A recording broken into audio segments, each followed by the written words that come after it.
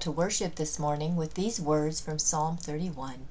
Praise the Lord, who has shown us the wonders of divine, unfailing love, and who, for the sake of God's name, leads us and guides us. In you, O Lord, we put our trust.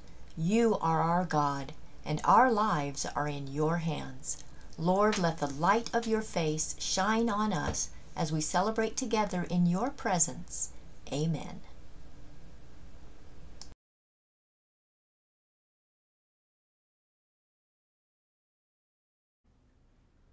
The gospel reading for today is John chapter 15, verses 1 through 10.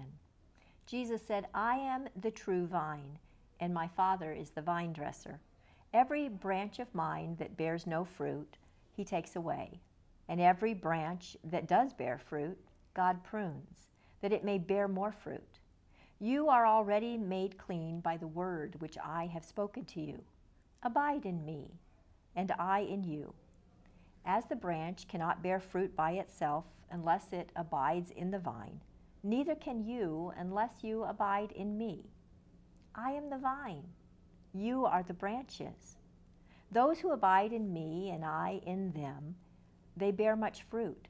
For apart from me, you can do nothing.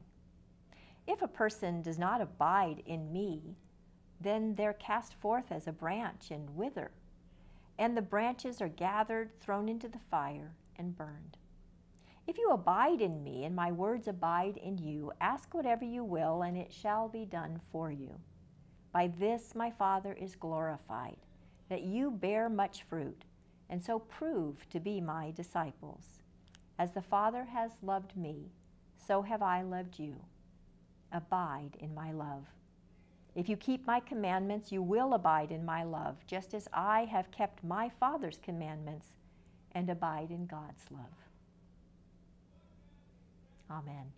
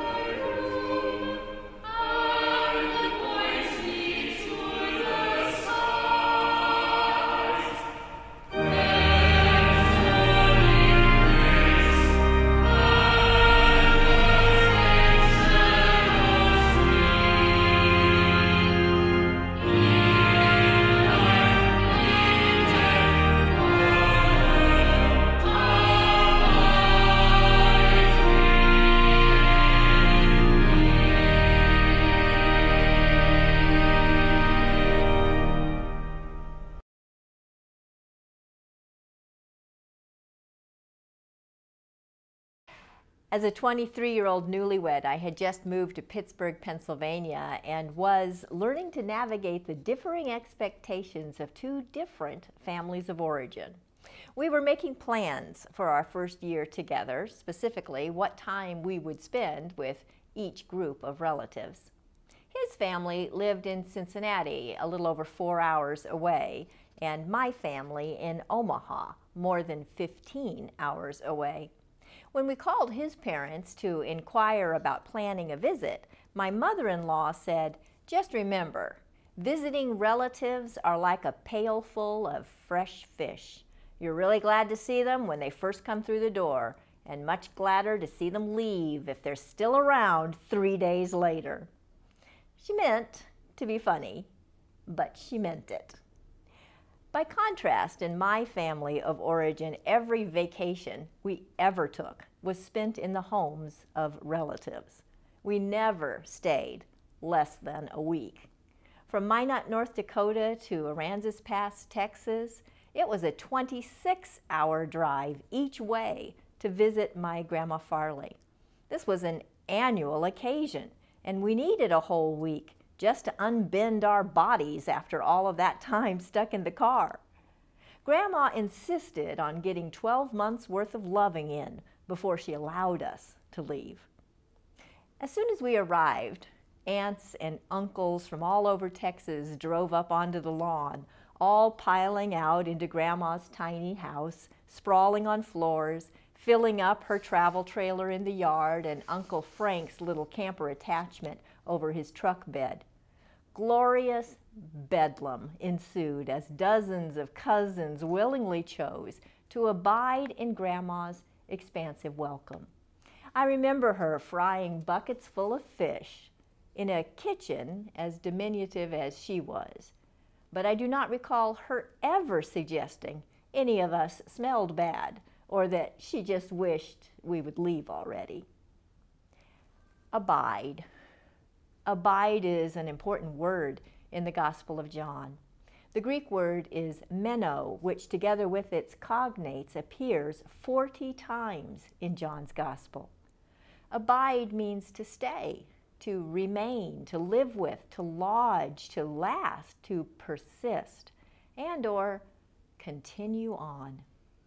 It isn't always positive like grandma's unwillingness to abide behaviors in her grandchildren like rudeness, unkindness, inhospitality, or meanness. Some things should not abide. John's gospel says that when we abide the wrong things, well, that can have negative consequences. Wrath can abide. 336. Guilt can abide. 941. And that is not God's will, says John. In today's gospel reading, the word abide is used to suggest a physical, organic kind of abiding. Previously, in chapter 14, the word abide suggested the same kind of homey hospitality that resonates with my memories of abiding with Grandma. John 14, 23 says, Those who love me will keep my word, and my Father will love them, and we will come to them, and we will make our home with them. In that verse, we get the sense that we are to learn the ways of hospitality. We are to make time and space here and now to welcome Jesus into our lives. The scholar Andrew Latz says, welcoming Jesus to abide in us as we abide in him is the primary and preferred way John describes discipleship, and it is the primary and preferred priority of our lives. Latz goes on to suggest that learning to abide with one another is part of abiding in and with Jesus. Those who love me will keep my word, and my Father will love them, and we will come to them and make our home with them. Today's verses from chapter 15 take us in another direction. This abiding is much more than a temporary experience of cohabitation. In the first eight verses of chapter 15, the word abide is used eight times. Jesus offers an image, the vine. He is the vine, and we are his branches. Those living in the time and place of Jesus were very familiar with fruiting vines, which were a part of everyday life. Living so close to the earth, most people had touched and tended such vines themselves. They understood that from a central vine, branches, well, branches branch, they branch out. Some of those branches flowered, were pollinated, and produced grapes. Other branches just languished. Whether a branch was dried up and fruitless or completely covered in luscious grapes, if you cut any branch off, removing it from the vine, it was done for. Branches which remained connected to the vine lived on and had the opportunity in future seasons to still bear fruit. Branches abide in the vine, and the vine abides through its branches. John reminds us that the disciples abided with Jesus. They quite literally lived with him. And when he traveled, as he often did, they traveled with him. They showed up together like an avalanche of noisy cousins at the homes of various relatives and friends throughout Galilee and beyond. Maybe they moved on before three days, but when they did, they were still together with each other and with Jesus. The abiding of disciples with their teacher was more than an occasional visit to be concluded before someone got offended or inconvenienced by another's stay. Jesus and the disciples were deeply connected in an intimate and familial way. This passage about the vine is at the end of a long discourse in John, which includes the I am sayings. I am the bread of life. I am the light of the world, the door, the good shepherd, etc. It ends with, I am the true vine. The context of the long discourse is Jesus' farewell speech to his disciples just before he is arrested. Many scholars see a brilliant thread weaving through these I am sayings, all pointing to the meaning of the death and resurrection. In this context, the vine metaphor is especially poignant. We hear Jesus providing hope and a path forward for his disciples after he is physically removed from their gatherings. He tells them that it's better that he go away because if he goes away, he can be with them forever. John 16, 7. He promises that when the Holy Spirit comes upon them, he will abide with them, not as a friend sharing a room during their travels, but in a real, organic way connecting them all forever, just as a vine is connected to its branches. His teaching takes on a sacramental meaning, showing us that as believers, we are connected to Him. And the community of believers are therefore connected to one another. And so when we gather around the table, just as they did on that fateful night, we mediate to one another, really and materially the very presence of the living Christ. All of us, branches of the same vine. The vine only existing as we stay connected to one another. Because he abides in us and we abide with one another, the vine lives on. He lives on through us. Latz says John characterizes abiding as intimate, enduring, personal, and reciprocal relationships between Jesus and the Spirit, between Jesus and the Father, and between the Father, Son, and Spirit and disciples. He suggests through the vine metaphor that when the community of disciples abide together, they show something of God's life Jesus' whole ministry and even the incarnation itself can be summarized as his abiding with us. Abiding is not coerced, but it is commanded of the disciples in the vine metaphor. They must abide in Jesus, and by virtue of that, with one another. But fish and relatives stink after three days. abiding with one another is hard. And abiding without one another can be devastating. In the year 2000, the blockbuster movie was Cast Away, starring Tom Hanks as Chuck Noland, a young FedEx executive. Noland survives four years on a deserted island after his flight to Malaysia is interrupted by a crash into the sea, killing everyone except him. Living for years in utter isolation, Noland eventually forms a relationship with a volleyball, which he names Wilson, after giving it a face and eventually sprouts of something like hair. It's part of our divine nature, this need to abide with others, even if we have to invent them. In the next chapter of John, Jesus prays to the Father, I have given them the glory you gave me, so that they may be one as we are one, I and them, and you and me, that they may be perfectly united, so that the world may know that you sent me and have loved them just as you have loved me. Professor Alyce McKenzie says this theme of abiding in the very nature of authentic discipleship runs all through John. She recounts one of the short stories in Andre Dubus' book entitled Meditations from a Movable Chair. Dubus lost one leg and the use of the other in a terrible accident. His writing reflects how he experienced despair, learned acceptance, and finally found joy in the sacramental magic of the most mundane tasks. The story McKenzie relates is from a Christmas Eve a few years after his accident. He was divorced from his wife, and it was her year to have their daughters for Christmas Eve.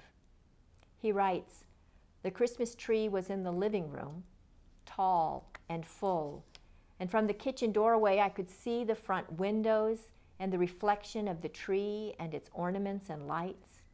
My young daughter's Christmas stockings were hanging at the windows, but my girls were at their mother's house and would wake there Christmas morning and would come to me in the afternoon. I was a crippled father in an empty house.